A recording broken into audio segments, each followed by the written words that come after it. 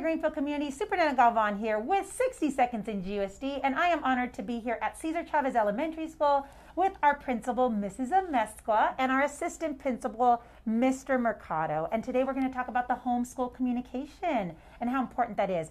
Miss Amesqua, please tell our viewers why is it so important to have parent conferences and communication?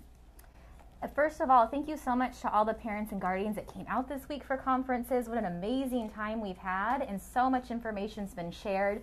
We just really can't say thank you enough.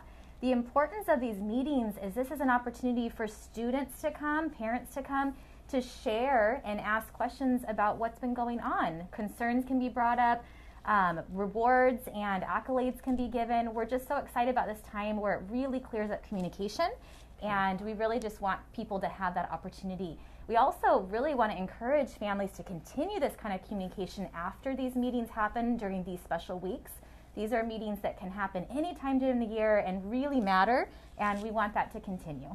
Beautiful. So there you have it. That homeschool communication is so important, so critical, and we look forward to conferencing with you throughout the school year. Thank you so much for joining us. This is 60 Seconds with GUSD, and we'll see you next time.